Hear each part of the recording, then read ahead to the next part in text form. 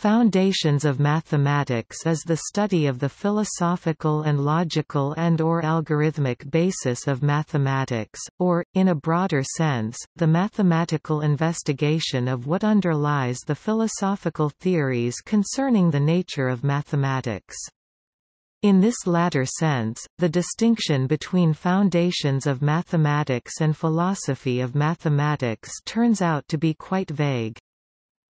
Foundations of mathematics can be conceived as the study of the basic mathematical concepts set, function, geometrical figure, number, etc. and how they form hierarchies of more complex structures and concepts, especially the fundamentally important structures that form the language of mathematics formulas, theories and their models giving a meaning to formulas, definitions, proofs, algorithms, etc. also called metamathematical concepts, with an eye to the philosophical aspects and the unity of mathematics. The search for foundations of mathematics is a central question of the philosophy of mathematics. The abstract nature of mathematical objects presents special philosophical challenges. The foundations of mathematics as a whole does not aim to contain the foundations of every mathematical topic. Generally, the foundations of a field of study refers to a more or less systematic analysis of its most basic or fundamental concepts, its conceptual unity and its natural ordering or hierarchy of concepts, which may help to connect it with the rest of human knowledge. The development, emergence and clarification of the foundations can come late in the history of a field, and may not be viewed by everyone as its most interesting part. Mathematics always played a special role in scientific thought, serving since ancient times as a model of truth and rigor for rational inquiry, and giving tools or even a foundation for other sciences especially physics. Mathematics' many developments towards higher abstractions in the 19th century brought new challenges and paradoxes, urging for a deeper and more systematic examination of the nature and criteria of mathematical truth, as well as a unification of the diverse branches of mathematics into a coherent whole. The systematic search for the foundations of mathematics started at the end of the 19th century and formed a new mathematical discipline called mathematical logic, with strong links to theoretical computer science. It went through a series of crises with paradoxical results, until the discoveries stabilized during the 20th century as a large and coherent body of mathematical knowledge with several aspects or components set theory, model theory, proof theory, etc., whose detailed properties and possible variants are still an active research field. Its high level of technical sophistication inspired many philosophers to conjecture that it can serve as a model or pattern for the foundations of other sciences.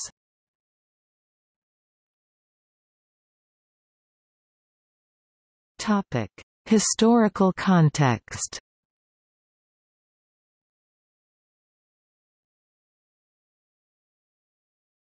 Topic: Ancient Greek mathematics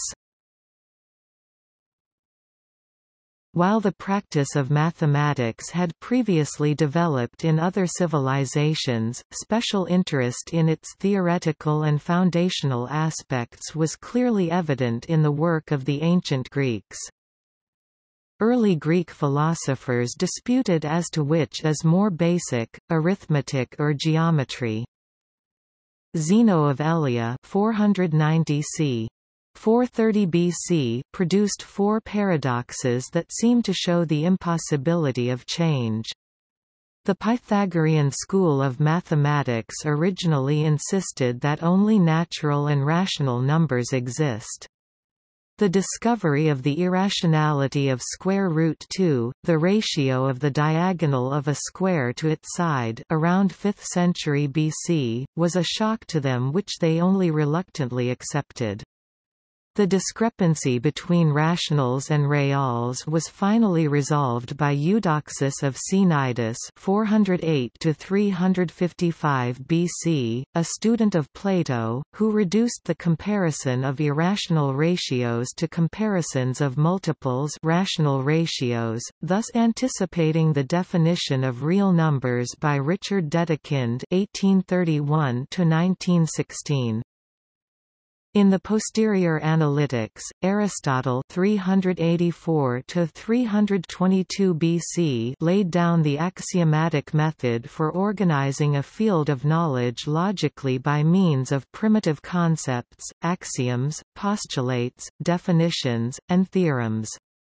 Aristotle took a majority of his examples for this from arithmetic and from geometry.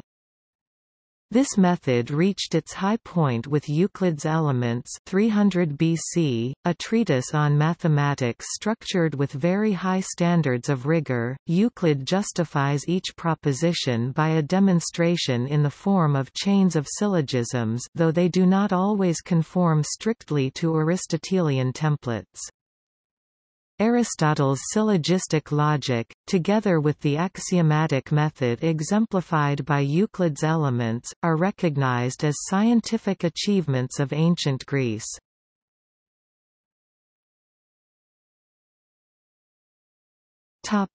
Platonism as a traditional philosophy of mathematics Starting from the end of the 19th century, a Platonist view of mathematics became common among practicing mathematicians. The concepts or, as Platonists would have it, the objects of mathematics are abstract and remote from everyday perceptual experience. Geometrical figures are conceived as idealities to be distinguished from effective drawings and shapes of objects, and numbers are not confused with the counting of concrete objects. Their existence and nature present special philosophical challenges. How do mathematical objects differ from their concrete representation? Are they located in their representation, or in our minds, or somewhere else? How can we know them? The ancient Greek philosophers took such questions very seriously. Indeed, many of their general philosophical discussions were carried on with extensive reference to geometry and arithmetic. Plato 424 423 BC 348 347 BC insisted that mathematical objects, like other Platonic ideas forms or essences, must be perfectly abstract and have a separate, non-material kind of existence, in a world of mathematical objects independent of humans. He believed that the truths about these objects also exist independently of the human mind, but is discovered by humans. In the Meno Plato's teacher Socrates asserts that it is possible to come to know this truth by a process akin to memory retrieval. Above the gateway to Plato's academy appeared a famous inscription, "'Let no one who is ignorant of geometry enter here'". In this way Plato indicated his high opinion of geometry. He regarded geometry as the first essential in the training of philosophers, because of its abstract character. This philosophy of Platonist mathematical realism is shared by many mathematicians. It can be argued that Platonism somehow comes as a necessary assumption underlying any mathematical work. In this view, the laws of nature and the laws of mathematics have a similar status, and the effectiveness ceases to be unreasonable. Not our axioms, but the very real world of mathematical objects forms the foundation. Aristotle dissected and rejected this view in his Metaphysics. These questions provide much fuel for philosophical analysis and debate.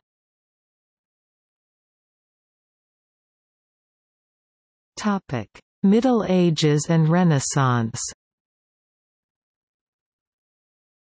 For over 2,000 years, Euclid's Elements stood as a perfectly solid foundation for mathematics, as its methodology of rational exploration guided mathematicians, philosophers, and scientists well into the 19th century.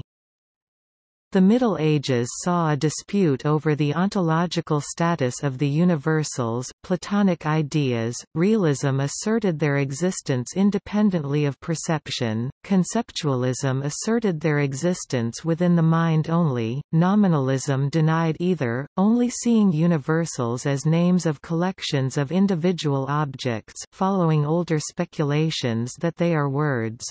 Logoi René Descartes published La Géométrie 1637, aimed at reducing geometry to algebra by means of coordinate systems, giving algebra a more foundational role while the Greeks embedded arithmetic into geometry by identifying whole numbers with evenly spaced points on a line. Descartes' book became famous after 1649 and paved the way to infinitesimal calculus. Isaac Newton (1642–1727) in England and Leibniz (1646–1716) in Germany independently developed the infinitesimal calculus based on heuristic methods greatly efficient, but direly lacking rigorous justifications. Leibniz even went on to explicitly describe infinitesimals as actual infinitely small numbers, close to zero. Leibniz also worked on formal logic but most of his writings on it remained unpublished until 1903. The Protestant philosopher George Berkeley (1685–1753), in his campaign against the religious implications of Newtonian mechanics, wrote a pamphlet on the lack of rational justifications of infinitesimal calculus. They are neither finite quantities, nor quantities infinitely small, nor yet nothing. May we not call them the ghosts of departed quantities? Then mathematics developed very rapidly and successfully in physical applications, but with little attention to logical foundations.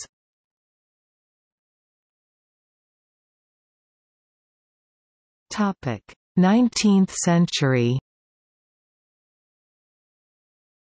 In the 19th century, mathematics became increasingly abstract. Concerns about logical gaps and inconsistencies in different fields led to the development of axiomatic systems.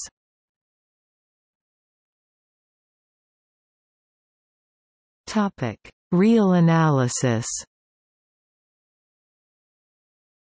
Cauchy (1789–1857) started the project of formulating and proving the theorems of infinitesimal calculus in a rigorous manner, rejecting the heuristic principle of the generality of algebra exploited by earlier authors. In his 1821 work Cours d'analyse he defines infinitely small quantities in terms of decreasing sequences that converge to zero, which he then used to define continuity. But he did not formalize his notion of convergence. The modern epsilon, delta definition of limit and continuous functions was first developed by Bolzano in 1817, but remained relatively unknown. It gives a rigorous foundation of infinitesimal calculus based on the set of real numbers, arguably resolving the Zeno paradoxes and Berkeley's arguments. Mathematicians such as Karl Weierstrass (1815–1897) discovered pathological functions such as continuous, nowhere differentiable functions. Previous conceptions of a function as a rule for computation, or a smooth graph, were no longer adequate. Weierstrass began to advocate the arithmetization of analysis, to axiomatize analysis using properties of the natural numbers. In 1858, Dedekind proposed a definition of the real numbers as cuts of rational numbers. This reduction of real numbers and continuous functions in terms of rational numbers, and thus of natural numbers, was later integrated by Cantor in his set theory, and axiomatized in terms of second-order arithmetic by Hilbert and Bernays.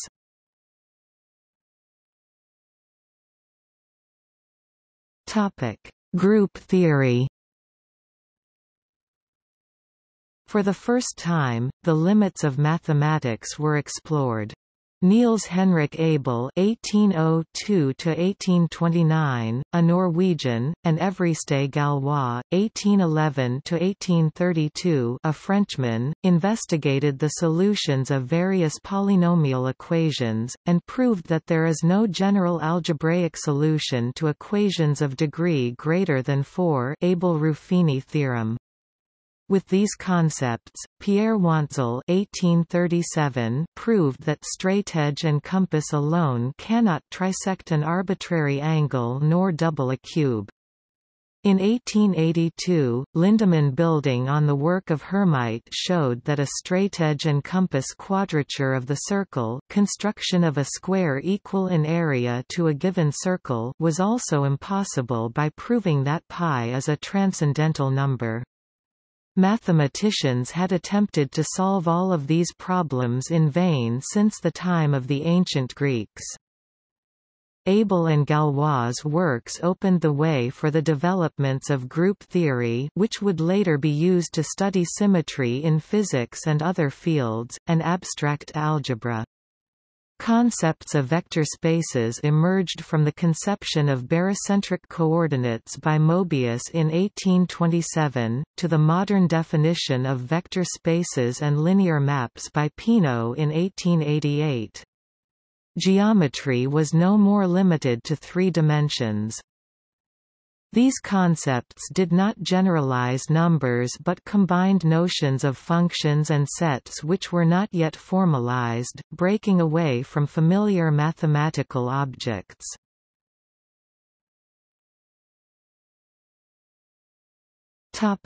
Non-Euclidean geometries After many failed attempts to derive the parallel postulate from other axioms, the study of the still hypothetical hyperbolic geometry by Johann Heinrich Lambert (1728–1777) led him to introduce the hyperbolic functions and compute the area of a hyperbolic triangle where the sum of angles is less than 180 degrees. Then the Russian mathematician Nikolai Lobachevsky (1792–1856), established in 1826 and published in 1829 the coherence of this geometry, thus the independence of the parallel postulate, in parallel with the Hungarian mathematician János Bolyai (1802–1860) in 1832, and with Gauss. Later in the 19th century, the German mathematician Bernhard Riemann developed elliptic geometry, another non-Euclidean geometry where no parallel can be found and the sum of angles in a triangle is more than 180 degrees. It was proved consistent by defining point to mean a pair of antipodal points on a fixed sphere and line to mean a great circle on the sphere. At that time, the main method for proving the consistency of a set of axioms was to provide a model for it.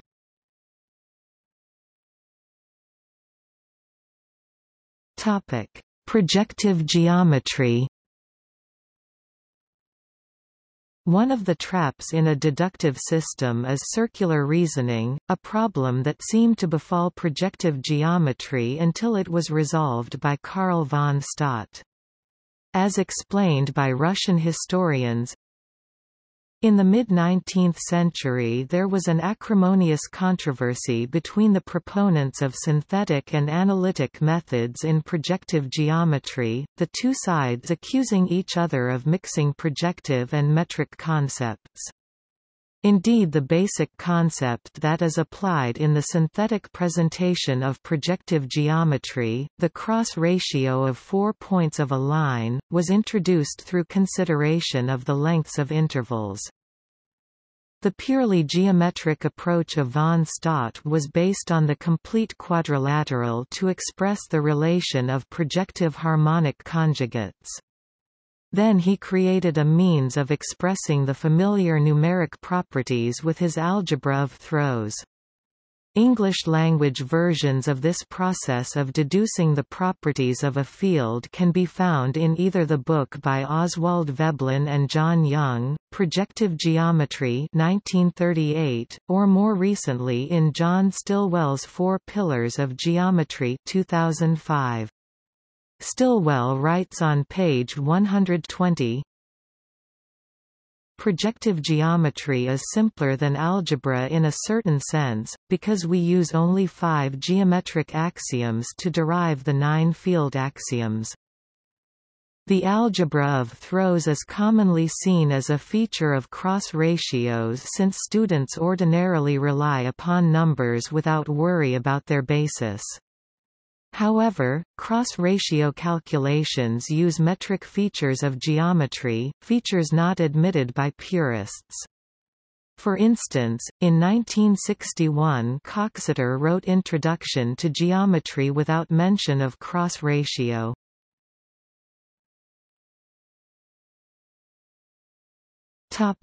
Boolean algebra and logic Attempts of formal treatment of mathematics had started with Leibniz and Lambert (1728–1777), and continued with works by algebraists such as George Peacock (1791–1858).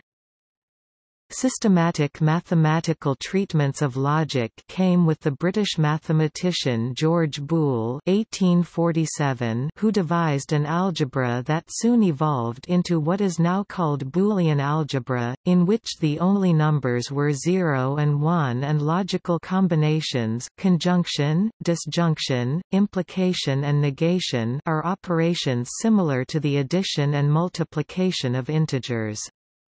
Additionally, De Morgan published his laws in 1847. Logic thus became a branch of mathematics. Boolean algebra is the starting point of mathematical logic and has important applications in computer science. Charles Sanders Peirce built upon the work of Boole to develop a logical system for relations and quantifiers, which he published in several papers from 1870 to 1885. The German mathematician Gottlob Frege (1848–1925) presented an independent development of logic with quantifiers in his Begriffsschrift (formula language), published in 1879, a work generally considered as marking a turning point in the history of logic.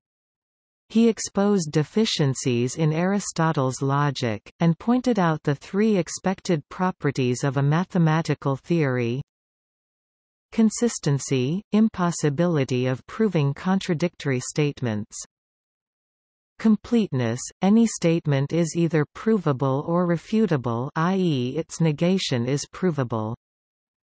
Decidability – There is a decision procedure to test any statement in the theory. He then showed in Grundgesetze der Arithmetik basic laws of arithmetic how arithmetic could be formalized in his new logic.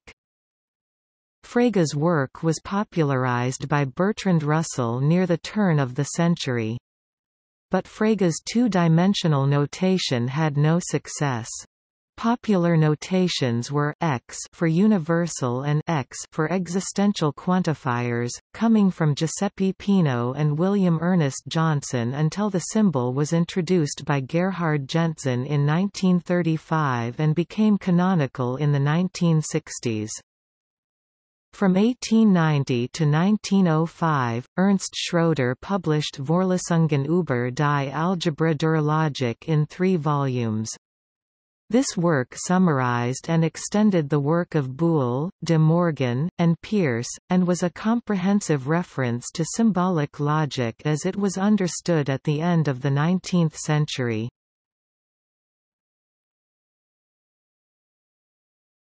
Peano arithmetic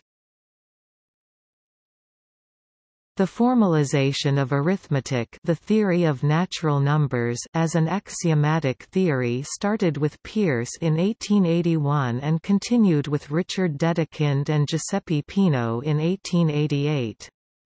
This was still a second-order axiomatization expressing induction in terms of arbitrary subsets, thus with an implicit use of set theory as concerns for expressing theories in first-order logic were not yet understood. In Dedekind's work, this approach appears as completely characterizing natural numbers and providing recursive definitions of addition and multiplication from the successor function and mathematical induction.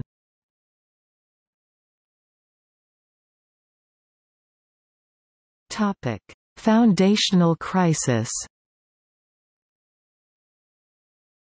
The foundational crisis of mathematics in German Grundlagenkrise der Mathematik was the early 20th century's term for the search for proper foundations of mathematics. Several schools of the philosophy of mathematics ran into difficulties one after the other in the 20th century, as the assumption that mathematics had any foundation that could be consistently stated within mathematics itself was heavily challenged by the discovery of various paradoxes such as Russell's paradox. The name, paradox, should not be confused with contradiction. A contradiction in a formal theory is a formal proof of an absurdity inside the theory such as 2 plus 2 equals 5, showing that this theory is inconsistent and must be rejected. But a paradox may be either a surprising but true result in a given formal theory, or an informal argument leading to a contradiction, so that a candidate theory, if it is to be formalized, must disallow at least one of its steps. In this case the problem is to find a satisfying theory without contradiction. Both meanings may apply if the formalized version of the argument forms the proof of a surprising truth. For instance, Russell's paradox may be expressed as, "...there is no set of all sets," except in some marginal axiomatic set theories. Various schools of thought opposed each other. The leading school was that of the formalist approach, of which David Hilbert was the foremost proponent, culminating in what is known as Hilbert's program, which thought to ground mathematics on a small basis of a logical system proved sound by metamathematical finitistic means. The main opponent was the intuitionist school, led by L. E. J. Brouwer, which resolutely discarded formalism as a meaningless game with symbols Van Dalen, 2008. The fight was acrimonious. In 1920 Hilbert succeeded in having Brouwer, whom he considered a threat to mathematics, removed from the editorial board of Mathematische Annalen, the leading mathematical journal of the time.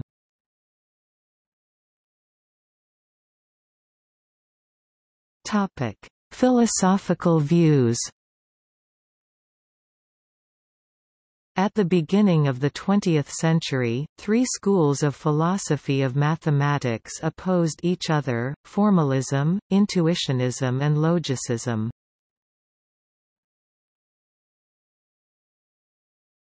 Topic Formalism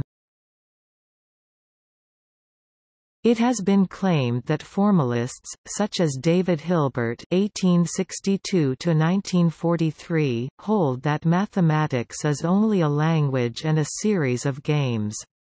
Indeed, he used the words "formula game" in his 1927 response to L. E. J. Brouwer's criticisms. And to what extent has the formula game thus made possible been successful? This formula game enables us to express the entire thought content of the science of mathematics in a uniform manner and develop it in such a way that, at the same time, the interconnections between the individual propositions and facts become clear. The formula game that Brouwer so deprecates has, besides its mathematical value, an important general philosophical significance. For this formula game is carried out according to certain definite rules, in which the technique of our thinking is expressed. These rules form a closed system that can be discovered and definitively stated. Thus Hilbert is insisting that mathematics is not an arbitrary game with arbitrary rules, rather it must agree with how our thinking, and then our speaking and writing, proceeds. We are not speaking here of arbitrariness in any sense. Mathematics is not like a game whose tasks are determined by arbitrarily stipulated rules. Rather, it is a conceptual system possessing internal necessity that can only be so and by no means otherwise. The foundational philosophy of formalism, as exemplified by David Hilbert, is a response to the paradoxes of set theory, and is based on formal logic. Virtually all mathematical theorems today can be formulated as theorems of set theory. The truth of a mathematical statement, in this view, is represented by the fact that the statement can be derived from the axioms of set theory using the rules of formal logic.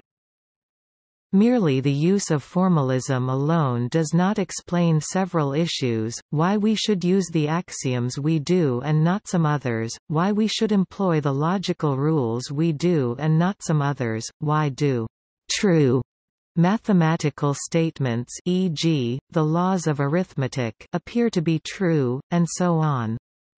Hermann Weyl would ask these very questions of Hilbert.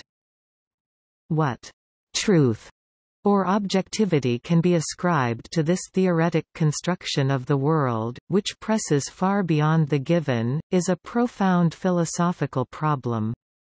It is closely connected with the further question, what impels us to take as a basis precisely the particular axiom system developed by Hilbert? Consistency is indeed a necessary but not a sufficient condition. For the time being we probably cannot answer this question. In some cases these questions may be sufficiently answered through the study of formal theories, in disciplines such as reverse mathematics and computational complexity theory. As noted by Weyl, formal logical systems also run the risk of inconsistency. In Peano arithmetic, this arguably has already been settled with several proofs of consistency, but there is debate over whether or not they are sufficiently finitary to be meaningful. Gödel's second incompleteness theorem establishes that logical systems of arithmetic can never contain a valid proof of their own consistency. What Hilbert wanted to do was prove a logical system S was consistent, based on principles P that only made up a small part of S. But Gödel proved that the principles P could not even prove P to be consistent, let alone S.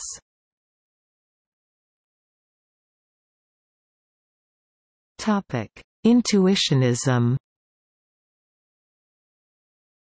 Intuitionists, such as L. E. J. Brouwer (1882–1966), hold that mathematics is a creation of the human mind. Numbers, like fairy tale characters, are merely mental entities, which would not exist if there were never any human minds to think about them. The foundational philosophy of intuitionism or constructivism, as exemplified in the extreme by Brouwer and Stephen Kleene, requires proofs to be constructive. In nature, the existence of an object must be demonstrated rather than inferred from a demonstration of the impossibility of its non-existence. For example, as a consequence of this the form of proof known as reductio ad absurdum is suspect. Some modern theories in the philosophy of mathematics deny the existence of foundations in the original sense. Some theories tend to focus on mathematical practice, and aim to describe and analyze the actual working of mathematicians as a social group. Others try to create a cognitive science of mathematics, focusing on human cognition as the origin of the reliability of mathematics when applied to the real world. These theories would propose to find foundations only in human thought, not in any objective outside construct. The matter remains controversial.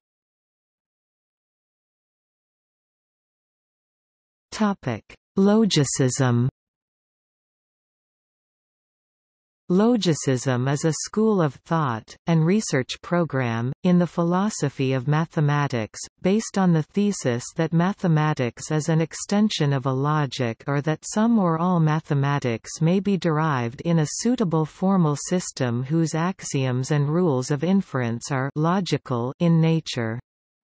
Bertrand Russell and Alfred North Whitehead championed this theory initiated by Gottlob Frege and influenced by Richard Dedekind.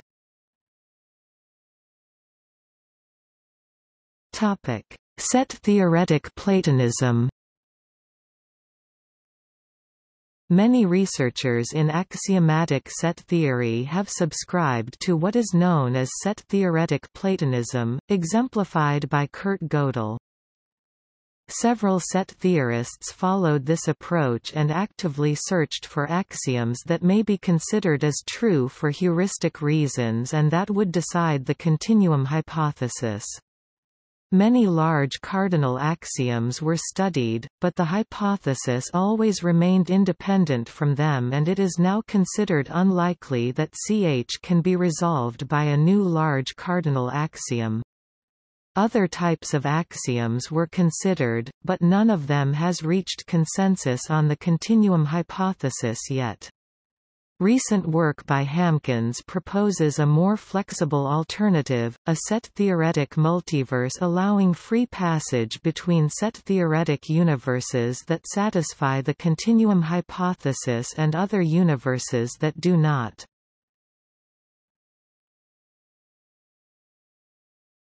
Topic: Indispensability argument for realism.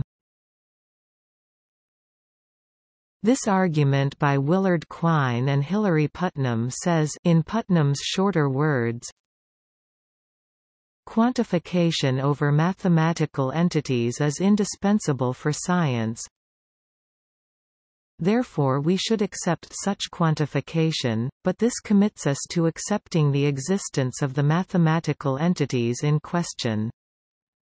However Putnam was not a Platonist.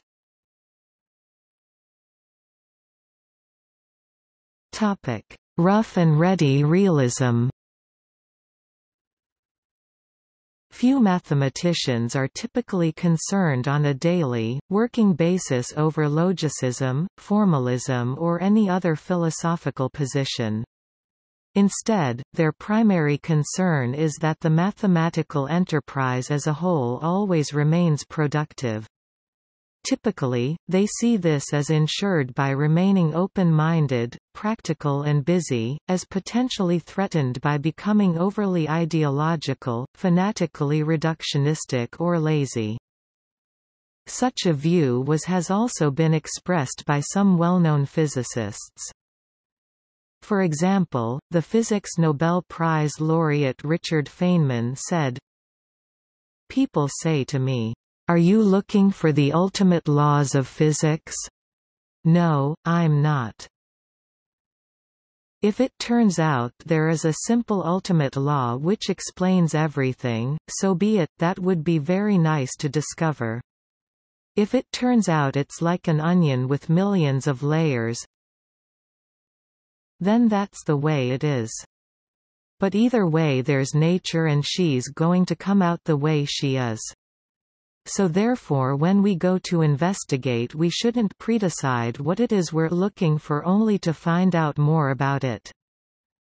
And Steven Weinberg The insights of philosophers have occasionally benefited physicists, but generally in a negative fashion, by protecting them from the preconceptions of other philosophers.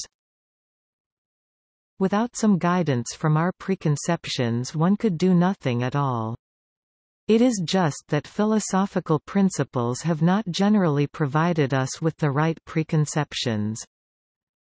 Weinberg believed that any undecidability in mathematics, such as the continuum hypothesis, could be potentially resolved despite the incompleteness theorem, by finding suitable further axioms to add to set theory.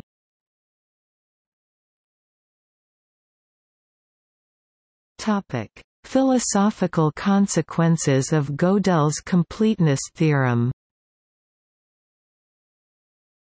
Gödel's completeness theorem establishes an equivalence in first-order logic between the formal provability of a formula and its truth in all possible models.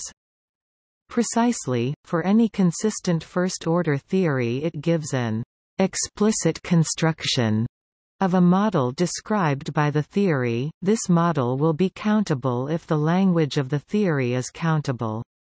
However this Explicit construction is not algorithmic.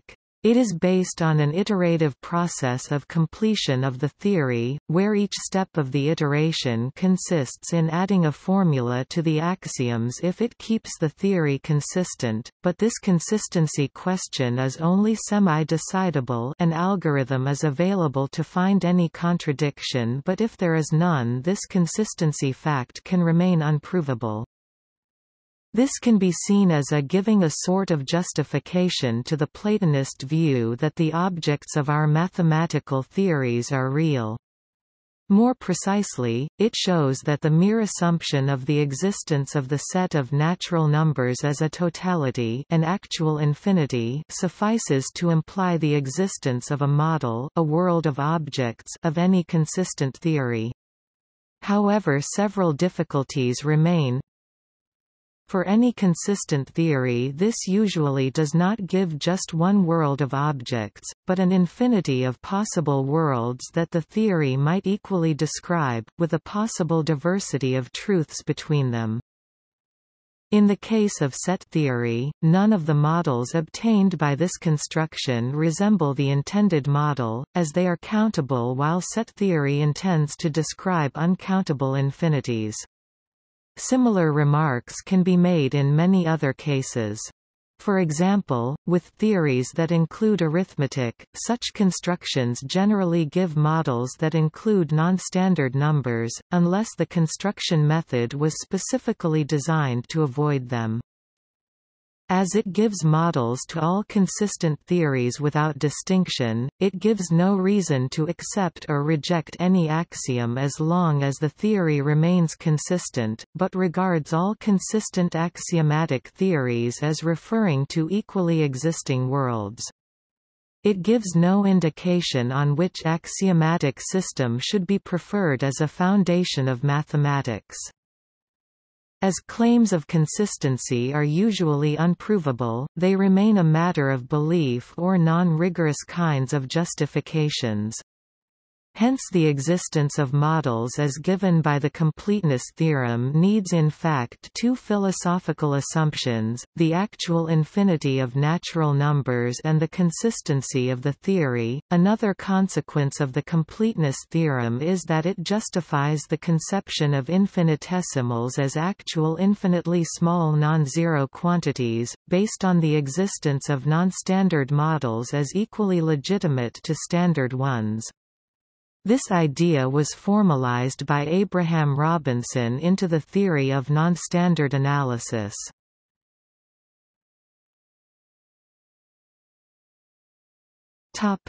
More paradoxes 1920, Thoralf Skolem corrected Leopold Lowenheim's proof of what is now called the downward Lowenheim-Skolem theorem, leading to Skolem's paradox discussed in 1922, namely the existence of countable models of ZF, making infinite cardinalities a relative property. 1922, proof by Abraham Fraenkel that the axiom of choice cannot be proved from the axioms of Zermelo set theory with Urelements. 1931, publication of Gödel's incompleteness theorems, showing that essential aspects of Hilbert's program could not be attained.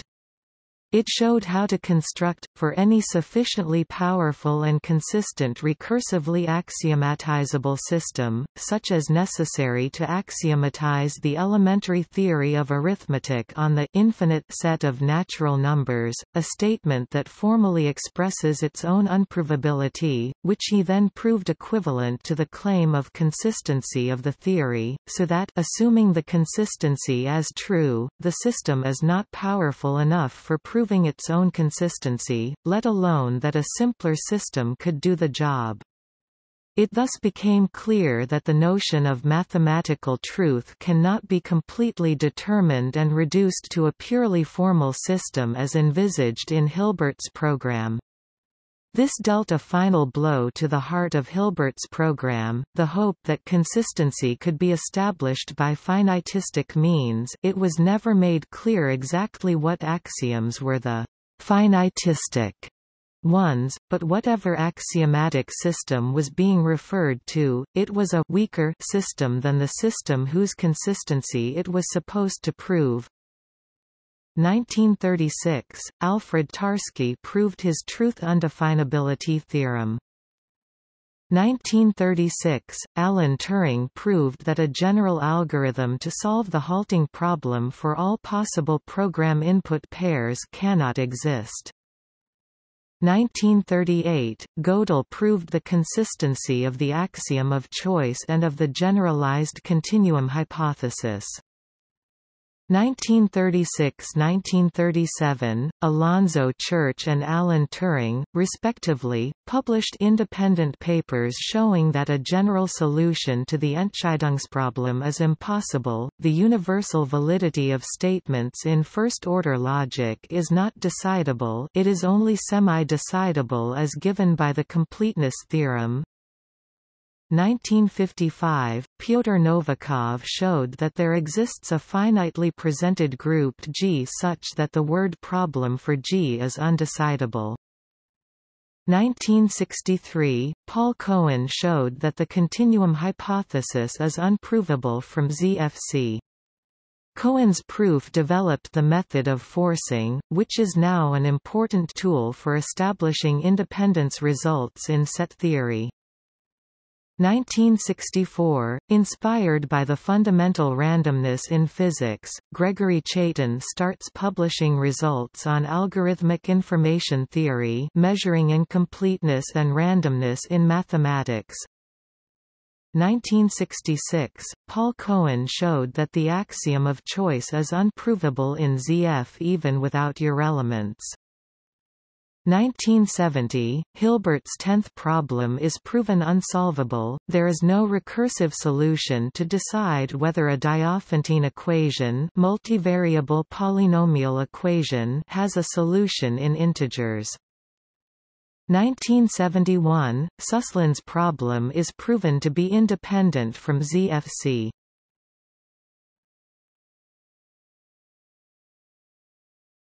Topic Partial resolution of the crisis Starting in 1935, the Bourbaki group of French mathematicians started publishing a series of books to formalize many areas of mathematics on the new foundation of set theory. The intuitionistic school did not attract many adherents, and it was not until Bishop's work in 1967 that constructive mathematics was placed on a sounder footing. One may consider that Hilbert's program has been partially completed, so that the crisis is essentially resolved, satisfying ourselves with lower requirements than Hilbert's original ambitions. His ambitions were expressed in a time when nothing was clear, it was not clear whether mathematics could have a rigorous foundation at all. There are many possible variants of set theory, which differ in consistency strength, where stronger versions postulating higher types of infinities contain formal proofs of the consistency of weaker versions, but none contains a formal proof of its own consistency. Thus the only thing we don't have is a formal proof of consistency of whatever version of set theory we may prefer, such as ZF. In practice, most mathematicians either do not work from axiomatic systems, or if they do, do not doubt the consistency of ZFC, generally their preferred axiomatic system. In most of mathematics as it is practiced, the incompleteness and paradoxes of the underlying formal theories never played a role anyway, and in those branches in which they do or whose formalization attempts would run the risk of forming inconsistent theories such as logic and category theory, they may be treated carefully. The development of category theory in the middle of the 20th century showed the usefulness of set theories guaranteeing the existence of larger classes than does ZFC, such as von Neumann-Bernays-Gödel set theory or Tarski-Grothendieck set theory, albeit that in very many cases the use of large cardinal axioms or Grothendieck universes is formally eliminable. One goal of the reverse mathematics program is to identify whether there are areas of core mathematics in which foundational issues may again provoke a crisis.